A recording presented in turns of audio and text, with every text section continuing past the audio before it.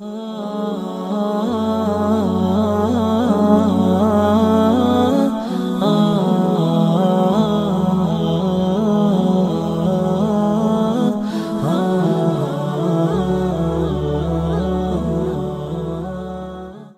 നൈലാന്റെ അർത്ഥം? നൈല എന്ന് പറഞ്ഞാൽ ചെരുപ്പ്. നമ്മൾ ധരിച്ചു നടക്കുന്ന ചെരുപ്പിന് എന്താണ് അള്ളഹാനോട് നന്ദി ചെയ്തത് എന്ന് അള്ളാഹുവിന്റെ കോടതിയിൽ മഷറയിൽ ചോദ്യമുണ്ടാകുമെന്ന് മുഹമ്മദ് മുസ്തഫ. സല്ലാസം. ആരാ ചിന്തിക്കാറ്? ആരാ അപ്പൊ അതൊക്കെ ആലോചിക്കാറ്? അപ്പൊ ചെരുപ്പ് ധരിക്കുന്ന വിഷയത്തിൽ അള്ളാഹുവിന്റെ ചോദ്യമുണ്ടാകുമെങ്കിൽ അതിന് എന്താണ് നമ്മൾ മറുപടി പറയാ? മറുപടി പറയണമെങ്കിൽ എന്ത് ചെയ്യണം? ചെരുപ്പുമായി ബന്ധപ്പെട്ട അതബുകൾ പാലിക്കണം. എന്റെ ചെരുപ്പുമായി ബന്ധപ്പെട്ട് അങ്ങനെ അതിനു മാത്രം അതബുകളുണ്ടോ ഉണ്ട്. ചെരുപ്പുമായി ബന്ധപ്പെട്ട അതമുണ്ട് ഒരു സത്യവിശ്വാസി ചെരുപ്പ് ധരിക്കുമ്പോ ആദ്യം ധരിക്കുന്നത് അവന്റെ വലതുകാലിന്റെ ചെരുപ്പാവണം. അതങ്ങനെ ധരിച്ചാൽ മാത്രം പോരാ. ഇതെന്റെ പ്രിയപ്പെട്ട നേതാവ് മുത്ത് മുഹമ്മദ് മുസ്തഫ സൊല്ലാഹു അലൈഹി വസല്ലമ തങ്ങൾ കാണിച്ചു തന്നതുകൊണ്ടും എന്നോട് ചെയ്യാൻ പറഞ്ഞതുകൊണ്ടും ഞാൻ ഇങ്ങനെ ചെയ്യുകയാണ്. ആ നീയത്തോടുകൂടെ ചെരുപ്പ് ധരിക്കുമ്പോൾ ആദ്യം വലത് കാലിന്റെ ചെരുപ്പ് ധരിച്ചാൽ അഴിച്ചു വെക്കുമ്പോൾ ആദ്യം ഇടത് കാലിന്റെ ചെരുപ്പ് അഴിച്ചു വെച്ചാൽ അതിന് അള്ളാഹു വലിയ പ്രതിഫലം നൽകുമെന്ന് മുഹമ്മദ് മുസ്തഫ.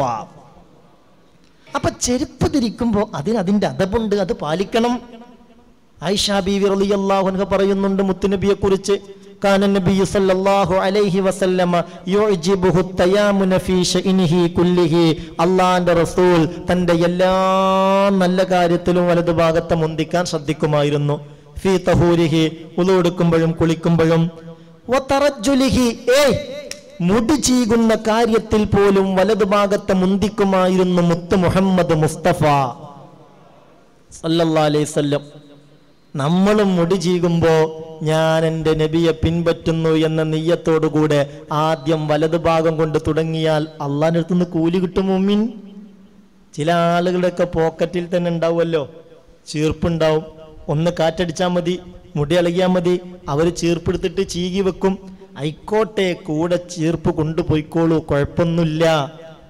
അള്ളാന്റെ റസൂൽ പ്രധാനപ്പെട്ട യാത്രയിലൊക്കെ അഞ്ചു വസ്തുക്കൾ കൂടെ കരുതുമായിരുന്നു. അതിലൊന്ന് അൽ മിഷ്തു ചീർപ്പാൻ. പിന്നെയോ അൽ മിർ ആത്ത് കണ്ണാടിയും കൂടെ ഉണ്ടാകും.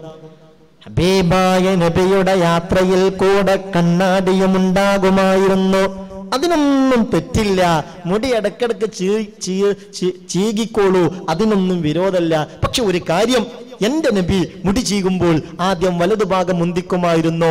ആ ഒരു നീയത്തോടുകൂടെയാണ് നമ്മൾ ചെയ്യുന്നതെങ്കിൽ അതൊരു ഇബാദത്തായി മാറും. അത് മുത്തു നബിയെ ഇത്തിബായി ചെയ്യലാകും. അള്ളാഹു തൗഫീക്ക് നൽകട്ടെ. ചെരുപ്പ് ധരിക്കുന്ന കാര്യത്തിലും വലത് ഭാഗത്ത് മുന്തിക്കുമായിരുന്നു? മഹാനായ മുഹമ്മദ് മുസ്തഫ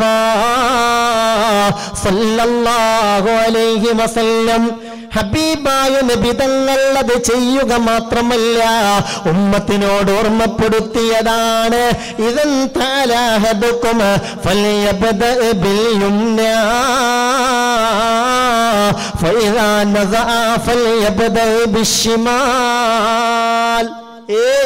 നിങ്ങൾ ചെരുപ്പ് ധരിക്കാണെങ്കിൽ ആദ്യം ധരിക്കേണ്ടത് വലതുകാലിന്റെ ചെരുപ്പാണ്. ചെരുപ്പ് അഴിച്ചു വെക്കുകയാണെങ്കിൽ ആദ്യം അഴിച്ചു വെക്കേണ്ടത് ഇടതുകാലിന്റെ ചെരുപ്പാണ്. ഇങ്ങനെ ഓർമ്മപ്പെടുത്തിയ മുത്ത് മുഹമ്മദ് മുസ്തഫ. അതുകൊണ്ട് മുമ്മിനെ ശ്രദ്ധിക്കണം. നാളെ അള്ളാഹുവിന്റെ കോടതിയിൽ ചോദ്യം ചെയ്യപ്പെടുന്നതാണ്. നീ ധരിച്ചു നടന്ന ചെരുപ്പുണ്ടല്ലോ. ആ ചെരുപ്പിന്റെ കാര്യത്തിൽ ചോദ്യമുണ്ടാകും. ആ